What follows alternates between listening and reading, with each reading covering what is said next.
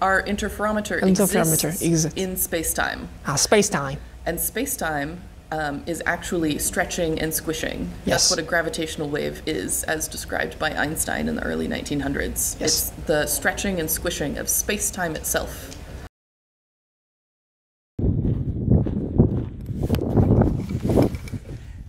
여러분 드디어 핸포드 라이고에 도착했습니다.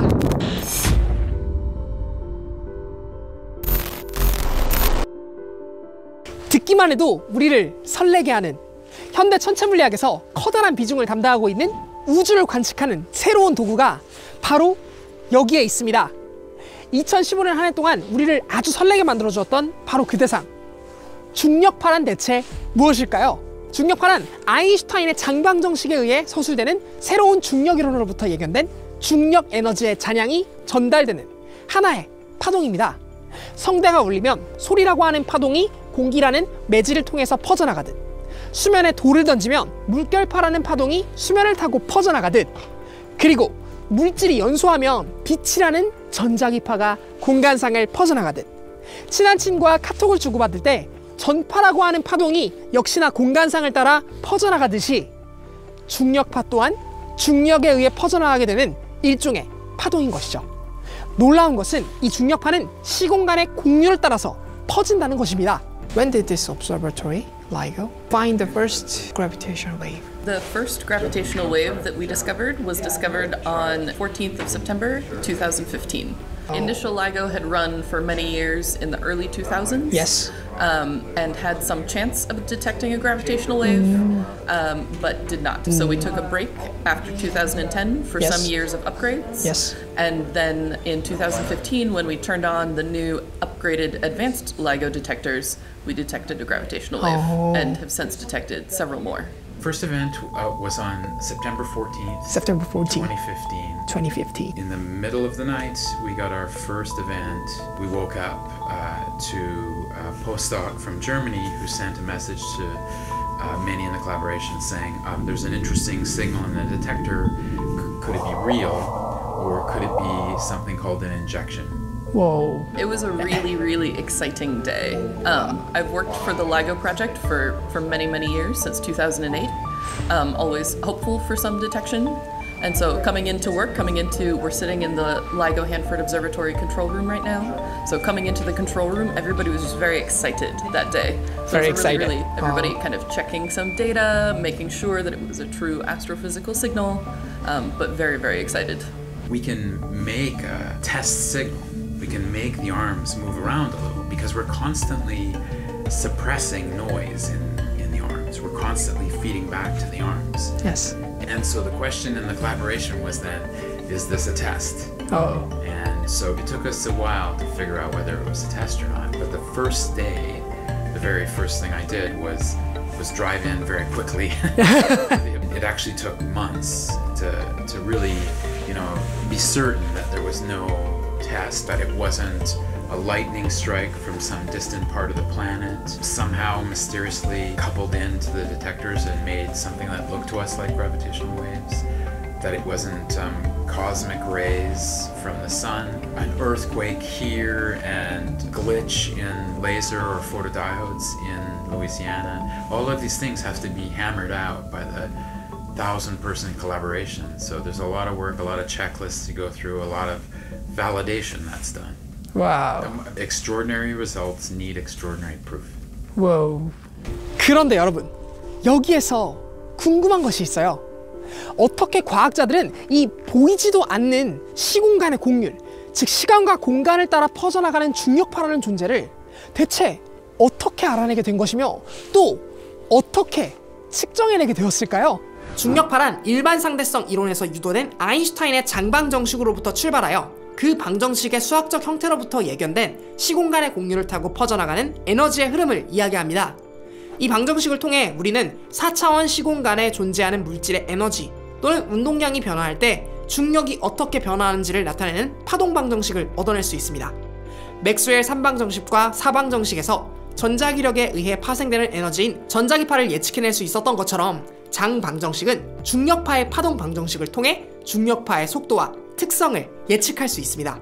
먼저 중력파의 속도입니다. 장 방정식으로부터 유도된 파동 방정식에 따르면 중력파는 진공에서의 전자기파의 속도와 동일하다는 것을 알 수 있습니다.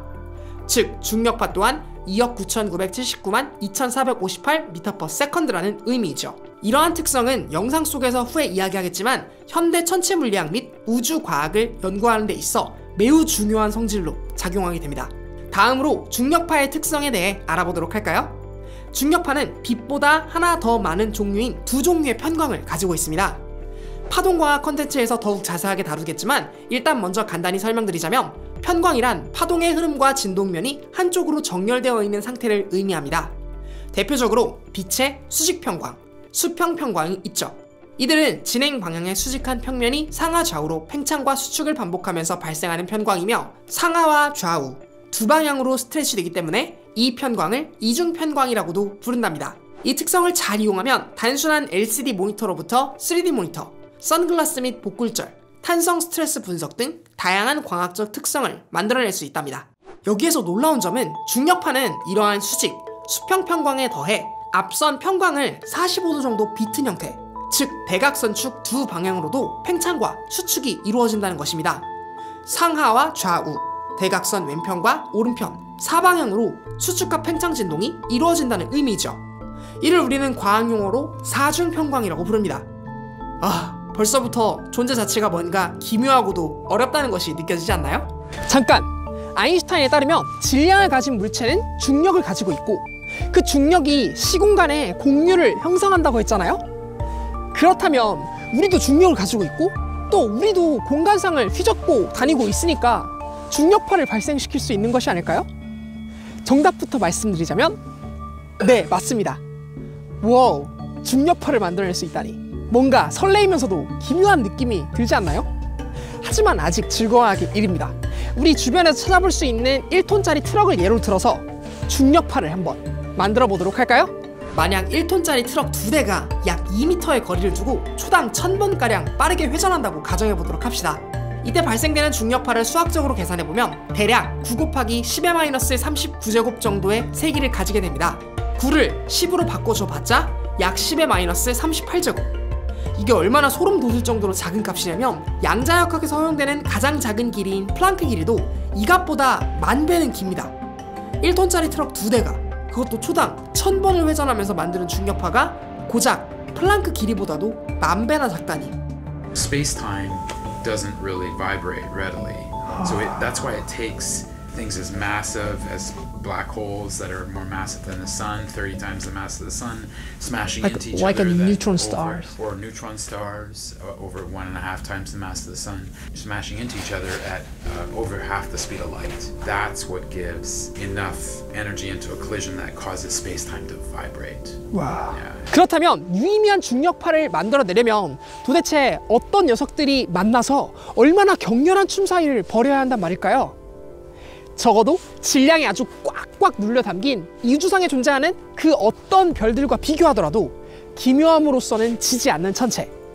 중성자별 정도는 되어 주어야 그 효과가 그나마 드러나게 됩니다. 잠시 중성자별이 무엇인지에 대해서 함께 들여다보도록 할까요?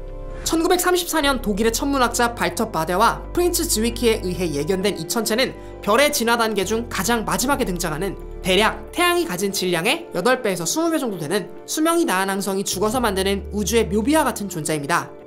초기의 별은 수소를 이용해 열심히 핵융합을 하며 그때 발생하는 질량의 결손에 의해 빛과 열을 방출하게 됩니다. 그러다 별을 구성하는 수소, 즉 수소 핵융합의 연료가 점점 떨어져 가게 되면서 수소 핵융합의 산물인 헬륨을 핵융합의 소재로 대체해서 사용하게 됩니다. 헬륨은 수소보다 밀도가 높기 때문에 전반적으로 별을 더욱 강하게 수축하도록 만들고 이는 밀도를 증가시키게 되면서 핵융합의 빈도를 늘리게 되죠. 동시에 별은 점점 더 뜨거워지기 시작하고 이 과정 속에서 작용하는 막대한 중력이 별 속에 존재하는 원자핵을 해체시켜버릴 만큼 무시무시하게 별을 쥐어짜게 됩니다. 이로 인해 별의 내부 속을 떠돌아다니던 즉 표류하던 전자와 양성자가 결합하게 되고 바로 이때 별의 외부는 상상을 초월할 정도로 막대한 반발력에 의한 폭발이 일어나게 되는데 이를 우리는 슈퍼노바 초신성이라고 부릅니다.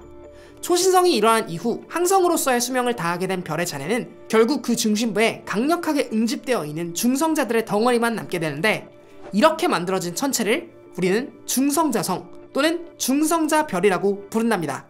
중성자별의 밀도는 정말 상상을 초월해서 겨우 약 12km 그러니까 우리나라 작은 마을 정도의 크기를 지름으로 가지는 중성자별의 질량이 무려 태양의 질량과 맞먹을 정도로 무시무시하게 막대한 질량을 가지고 있는 천체입니다.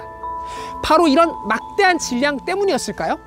이보다도 훨씬 커다란 규모의 중성자별 두 개가 우리 은하 외 가장 가까운 거리에 있는 은하인 천여자리 성단 근처에서 약 1km 정도의 거리를 두고 맹렬하게 회전하다 서로의 중력에 의해 하나로 합쳐지는 현상이 일어났다고 합니다. A detection that we made in August of 2017 was two stars colliding.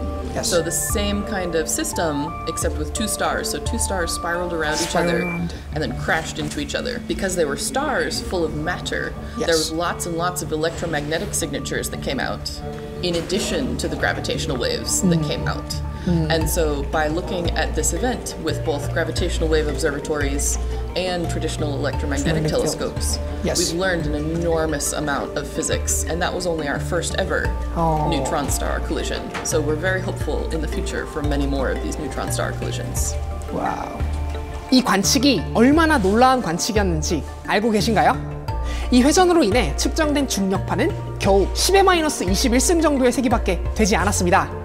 물론 이 정도의 중력파라도 1톤 트럭 두 대가 초당 1000번 돌면서 만드는 중력파보다 비교도 안 될 정도로 센 것이지만 그러나 여전히 너무나 작은 양이었죠. 이걸 캐치한다는 것은 마치 태양을 제외한 지구에서 가장 가까운 별인 알파 센타우리까지의 거리에서 고작 사람 머리카락 한 올만큼의 변화를 캐치한다는 것과 같은 양이었습니다. 너무나 터무니없고 불가능해 보일 것 같은 이러한 일을 인류는 해냈습니다. 바로 이곳 라이고에 있는 이 거대한 레이저 간섭계를 이용해서 말이에요.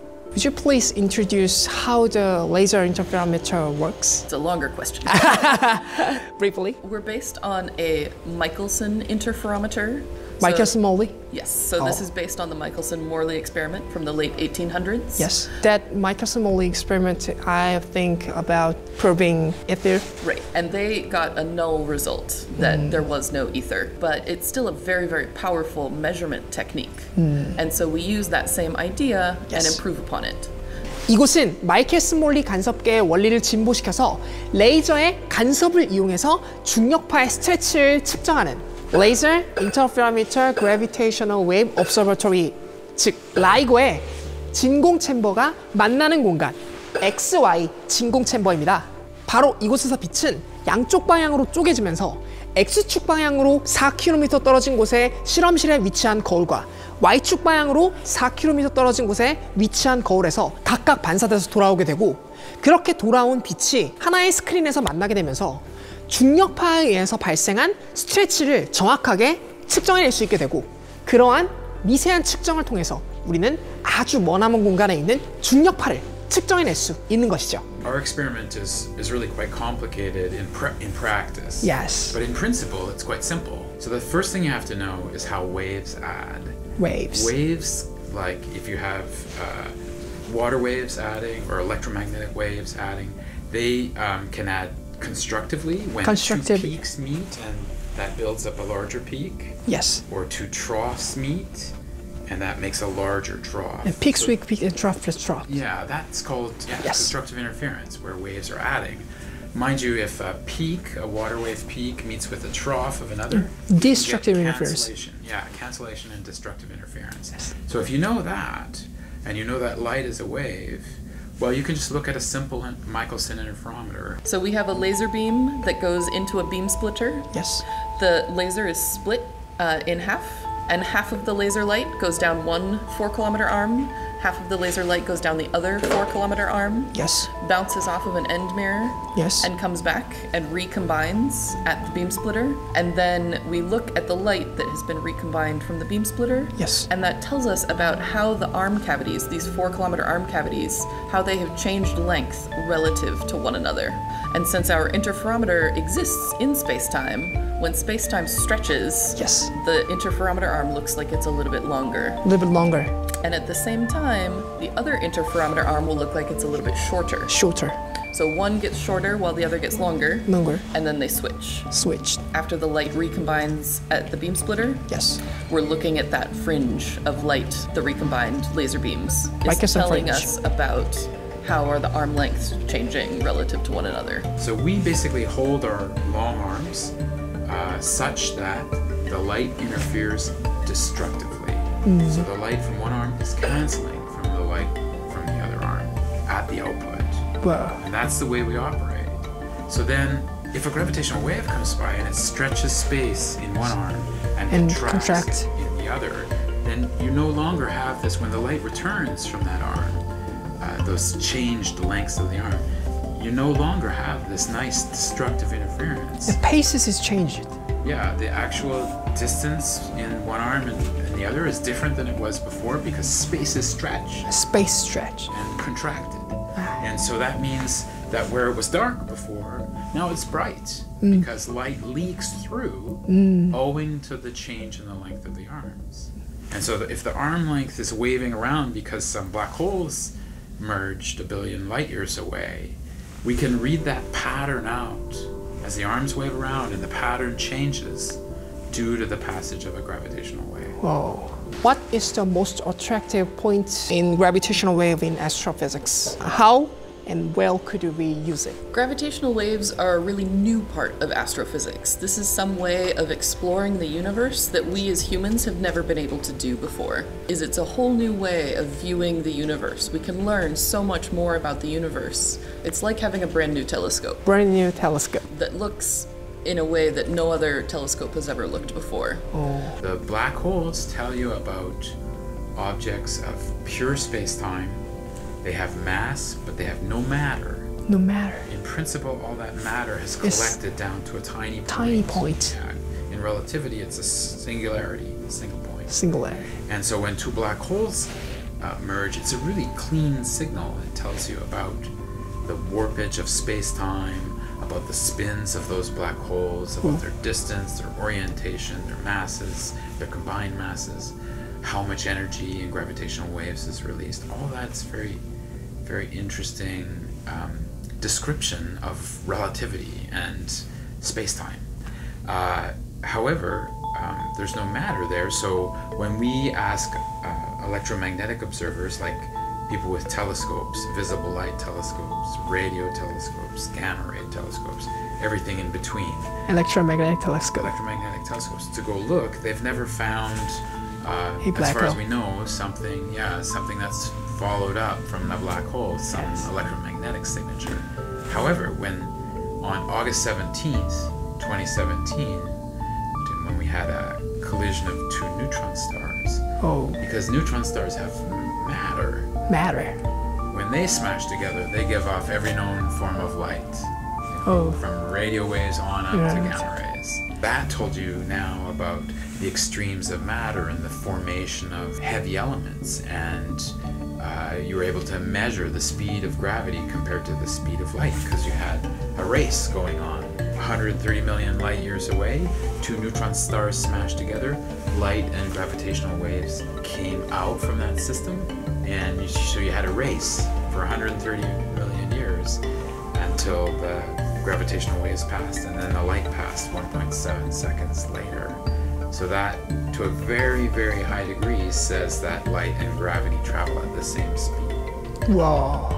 Kind of new observation tool. Exactly. Exactly. That's right, yeah. So, I mean, in some sense, this is a physics experiment telling you about the physics of gravity, but more importantly, it's like you said, it's a brand new field Brand of new. So we can look with traditional astronomy telescopes and the new LIGO detectors. Yes. And together we can learn a lot. Oh, what is the scientific vision in this observatory for the future? Our goal is to continue improving our sensitivity to gravitational waves Sensitivity. so that we can see more and more gravitational waves, particularly from events farther and farther out into the universe. The more sensitive we are, the farther out into the universe that we can see, as well as we can see events more clearly, better.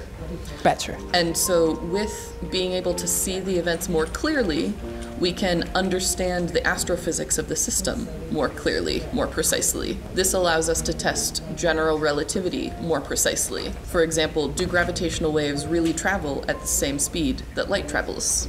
That's something that we can test with collision like the neutron star collision when we have an electromagnetic telescope seeing the event and the gravitational wave telescope seeing the event. Then we can test to the best of our measurement ability, uh, gravitational waves do in fact travel at the speed of light.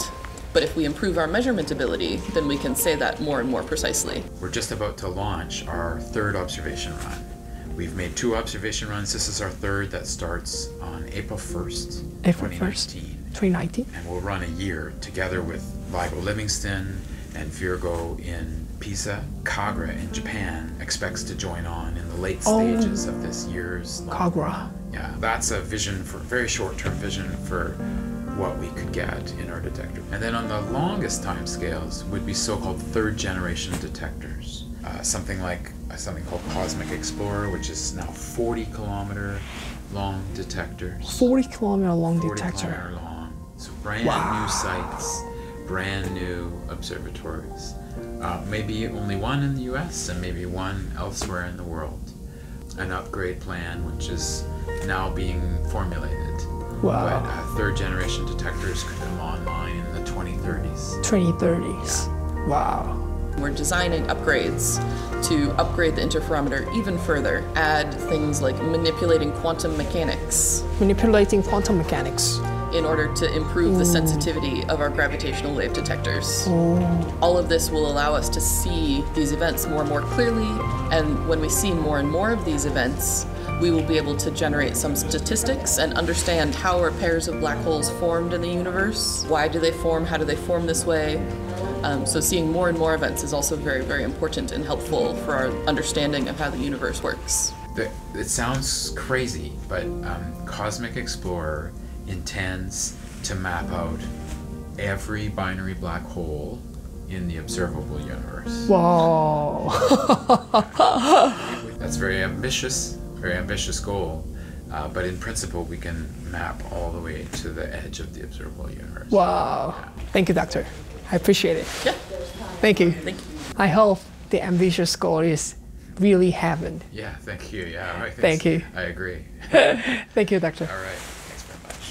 과학기를 사랑해주시고 시청해주시는 많은 시청자 여러분들과 구독자 여러분들 정말로 감사드리며 이번 영상도 유익하고 재밌으셨다면 좋아요와 구독 그리고 알람 설정도 부탁드릴게요. 이번 영상 또한 어김없이 제 채널에 알람 소리를 듣고 찾아주신 많은 구독자 여러분들과 시청자분들 그리고 특별히 채널 멤버십 구독을 통해 후원해주시고 계시는 이분들의 후원을 통해서 제작되었습니다. 또한 이 영상 시리즈가 제작될 수 있도록 지원해주시고 도와주시고 계신 과학기술정보통신부와 한국과학창의재단에게도 깊은 감사의 말씀을 드립니다. 과학기는 여러분의 구독과 시청을 통해서 성장합니다. 앞으로도 계속 과학에 관한 비하인드 스토리나 재미있는 과학 이야기를 듣고 싶으신 여러분들이라면 좋아요와 구독을 통해서 과학기 채널과 함께 성장해주세요. 자, 이번 에피소드도 시청해주셔서 정말 감사드리고요. 계속 찾아뵙도록 하겠습니다. 언제나 그랬듯 과학을 쿠키처럼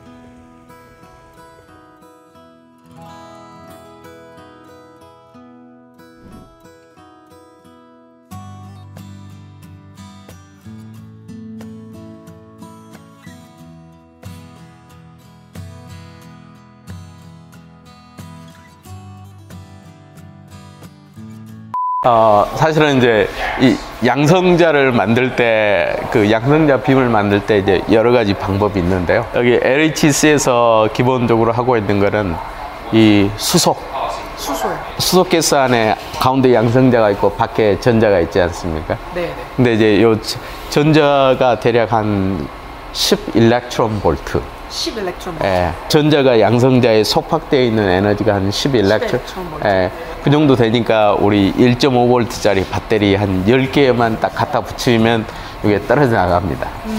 그러니까 이거를 수십만 볼트를 쫙 하면은 전자들이 다 떨어져 나갑니다. 그렇게 해서 전자를 딱 다 훑어내고 네네. 그럼 이제 양성자만 남으니까 네. 그래서 양성자를 여기 이제 가속기에 집어넣는 거예요.